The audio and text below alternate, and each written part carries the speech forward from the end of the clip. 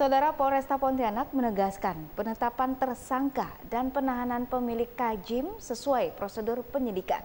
Penetapan tersangka sesuai dengan barang bukti dan keterangan saksi ahli yang jelas.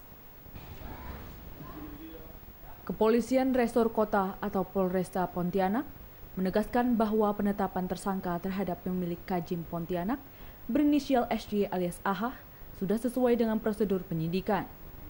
Penetapan tersangka terhadap owner Kajim Pontianak, SJ alias AHA, sesuai dengan ketentuan pasal 359 KUHP, yakni didasari dua alat bukti yang cukup serta keterangan ahli. Penetapan tersangka ini pula bahwa dalam unsur pasal 359 KUHP, yakni unsur kesalahan dan kelalaian. Untuk memenuhi unsur pasal itu ada dua, yakni bisa berbuat tapi tidak berbuat dan keteledoran, termasuk teledor, tidak memasang peringatan, dan tidak mengubah posisi treadmill, maupun membuat jendela dalam posisi terkunci.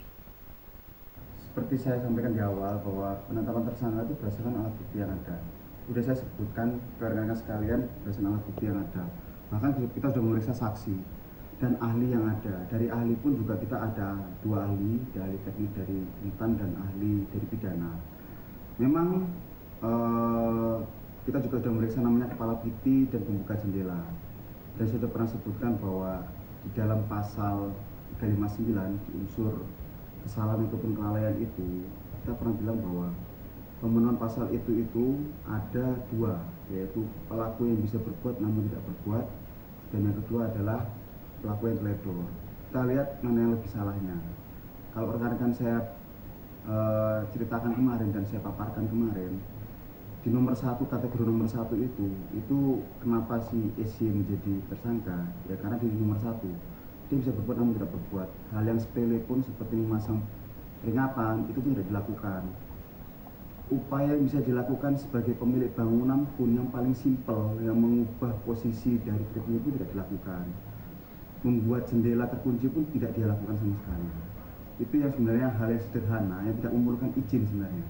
Yang bisa dilakukan oleh siapa pun apa bagi para pemilik usaha atau pemilik bangunan seperti itu apakah harus menunggu korban terlebih dahulu akhirnya baru menambah atau mengubah